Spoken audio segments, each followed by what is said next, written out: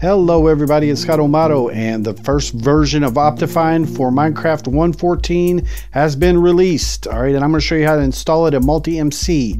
So we want to go to optifine.net and go to the download section. Of course, I'll leave a link in the description and then uh, select the preview versions here and you'll see the 114 version at the top. It may differ uh, depending upon when you watch this video, what version we're using, and I'll make notes of that, but I'm gonna show you how to install it in MultiMC. So you're gonna wanna download it from here, right click, uh, choose incognito window, because it will show you some ads, uh, and you'll uh, want to not have tracking cookies or whatever. So download that to your disk and only get it from optifine.net as mentioned. Okay, so when it comes down to your disk, it will be named as such, uh, whatever the file that you downloaded is. And you're going to want to allow that through your Windows Defender or Gatekeeper, whatever. I'll show you how to do things on Mac, but it makes no difference if you're using Windows, Mac, Linux, or whatever. Just translate between what you need to do on your operating system, all right? And so an installer window will open up here for uh, the installer, and we're going to want to extract the file. So choose the extract button, and then a location you want to extract it to, probably the same folder uh, I'm using downloads. All right, and then there'll be a file name uh, similar to this. Uh, that'll be the extracted jar. Okay, I have a jar extension, and this one has a uh, underscore mod at the end of that. I don't know if they'll continue doing that. I'm going to remove that underscore mod just to clean up the file name a little bit. Okay, then I'm to select that file and I'm going to copy it to my clipboard. So you know, do whatever you need to do, but copy it to your clipboard. Okay, the file. All right, now we're going to go into multi-MC and in a, a your installer window or whatever, uh, create a new instance. You can right click or hit the add instance button there.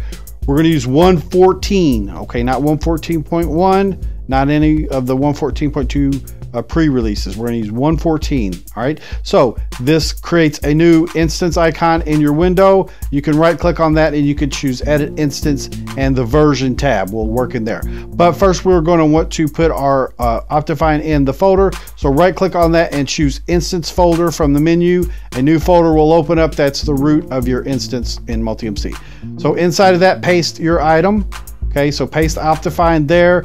Uh, you really want to create a new folder called libraries and put that Optifine inside of there. So you could, you know, just create the folder first, whatever.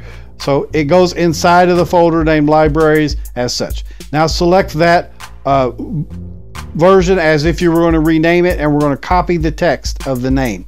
So right click it to where you see and then choose copy. Now we're copying the text short of the jar at the end of it. All right. So back in our edit instance window here, down at this bottom section, here there is a button called add empty. Click that and choose Optifine as the name or type in Optifine as the name, then underscore Optifine.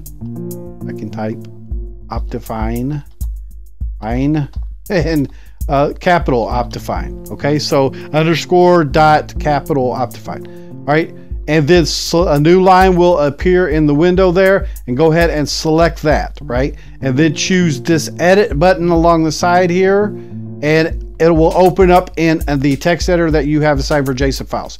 If that doesn't open up then you can assign a editor inside of MultiMC using the settings uh, main settings area external tools text editor here for external editors click the button there and choose one in your system, whether that be TextEdit or uh, Notepad++ or something like that, and you'll be able to assign that. But you can also use the default programs in your operating system, which is recommended. All right, but basically in that window here, we're going to want to select the text and go ahead and clear it out. And then we're going to want to go to a location here in Chrome where I will leave you a link to uh, the text that we're going to enter. So it, it, will look similar to this and you can go ahead and choose the raw button along the side here to open only that window and then select the text inside of it and copy it. Okay. Uh, and again, your versions of the stuff may look a little different than mine, but we'll go into Text Wrangler here is what I'm using or your text editor and we'll paste that. Okay, so we are in the optifine.optifine.json is what that file will be called.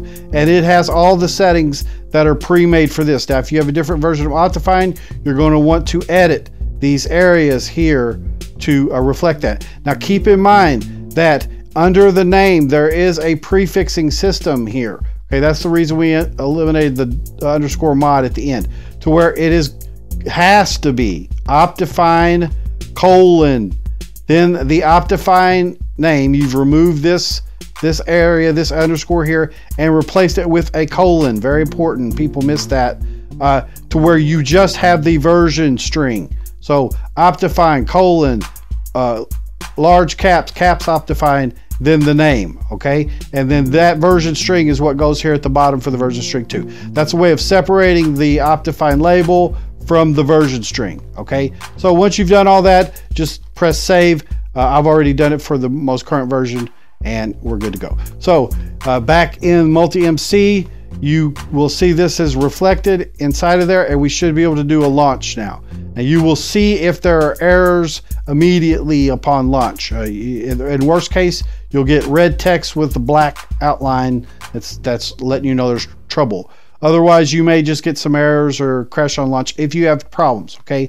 Uh, but it should be okay, all okay if you followed the instructions correctly uh, or you know done the proper things in adjusting yours. So again i'll leave a link in the description here for the settings for the first version and then i'll do uh, updates you know as needed to uh, get into major versions. All right so once your minecraft launch you can see it launches okay. We'll go under options video settings and then we'll see our optifine version here at the bottom of the screen let me turn off the sound first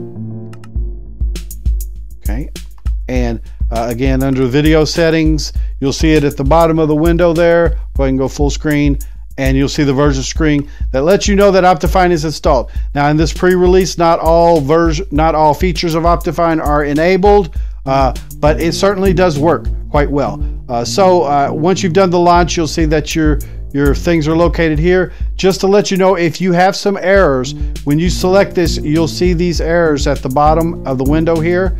Uh, it could tell you some problems that you might have. Uh, you can make some changes and you can reload. Here, there's a reload button and see how that goes. But guys, if you follow these steps, it all should work properly. And I have tested it and you can see that it works. So anyway, that's how we installed the first versions of Optifine in Multi-MC. And I'm excited that it has come out and we can continue to move forward with the great new version of Minecraft that 114 is. Anyway, this is ScottoMotto. Thanks so much for watching, guys, and I'll see you in the next video. Have a great day. Bye-bye.